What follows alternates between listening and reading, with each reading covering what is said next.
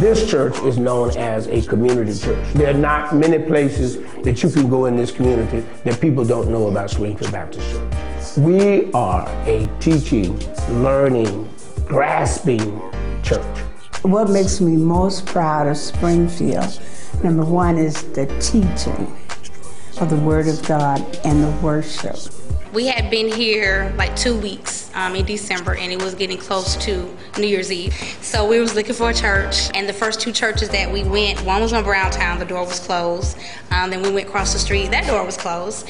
And then my daughter, Adriana, she said, "Well, we can go to Springfield, Mama." I was like, "Okay," because it's getting close to midnight. We need to get in church. We got there, and sure enough, it, the house was full. Pastor was, you know, greeting the people saying, you know, just put them over here, put them away, get everybody in, get everybody in. I was like amazed, like, oh my goodness. I mean, even the ushers at the door, they just greeted you. I, I felt at home. The thing about Springfield is that we are very much family oriented and we love families and nobody is left out when they come here. If someone is interested in really growing in Christ, getting to know Christ, I think this is a place that they should try.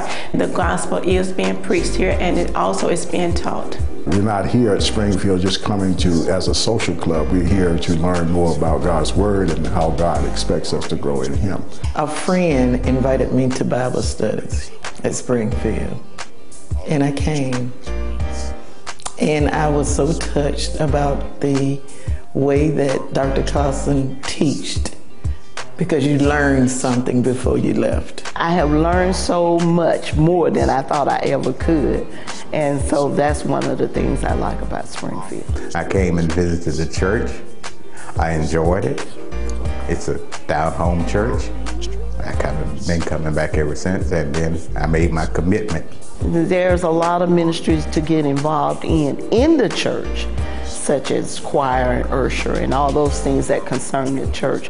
There's also outside ministries uh, that reach the lost and reach those that are in need. So those ministries are wonderful. We make sure that we create an environment not only for you, but if you got kids, we have a wonderful youth ministry.